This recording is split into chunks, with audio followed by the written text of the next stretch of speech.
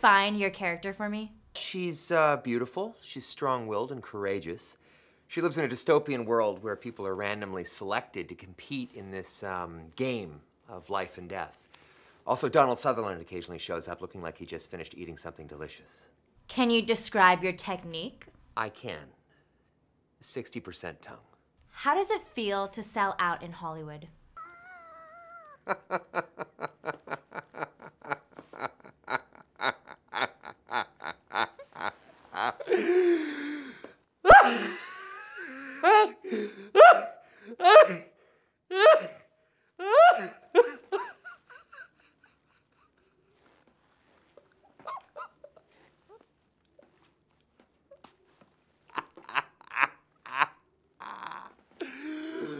Oh, I'm sorry, what was the question again?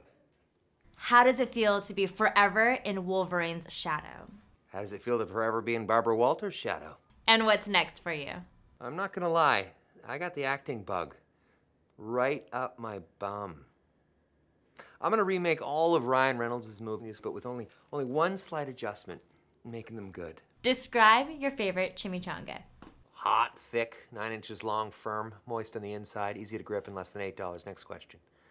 Making a movie is a really big deal. What is your process like? Well, my process has always been the same. I start with a single finger, but if I feel like there's room for two more, I just go for it.